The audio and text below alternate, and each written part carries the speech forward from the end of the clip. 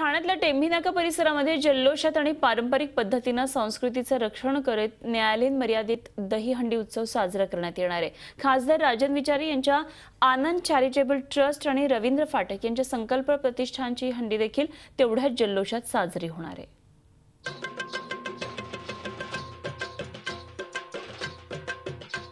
सामाजिक बांधिलकी जपण्यासाठी आनंद दिघे यांनी ठाण्यात दहीहंडीचा उत्सव सुरू केला.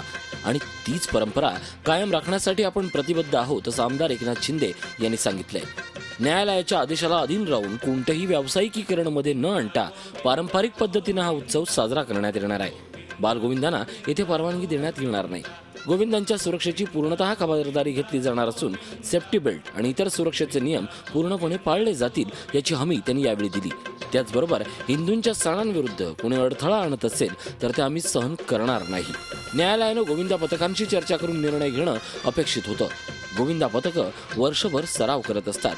दहीहंडीत मिळणाऱ्या रकमेतून गोविंदा पथकं सामाजिक कार्य करत असतात असंही आमदार शिंदे यांनी यावेळी सांगितलं. यावेळी महापौर हरिश्चंद्र पाटील कल्याण जिल्हा प्रमुख गोपाळ लांडगे रवींद्र फाटक आदी उपस्थित होते. तर सेना आमदार प्रताप सरनाईक यांनी दहीहंडीबद्दल घेतलेला निर्णय हा त्यांचा वैयक्तिक निर्णय होता असं स्पष्टीकरणही यावेळी शिंदे यांनी दिलंय.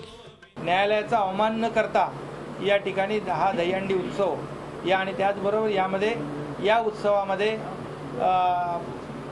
संस्कृती असेल आपली संस्कृती जोपण्या जोपासण्याचा प्रयत्न असेल परंतु या उत्सवाचं कुठेही या उत्सवाला गालबोट लागणार नाही. या उत्सवाचं बाला बाजारीकरण होणार नाही. ही काळजी घेऊन आम्ही हा उत्सव साजरा करणार आहोत.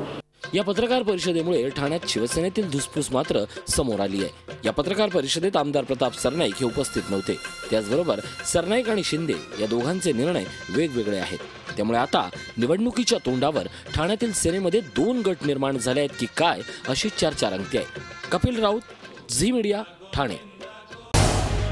Zee चोवीस तास. रहा एक पाऊल पुढे.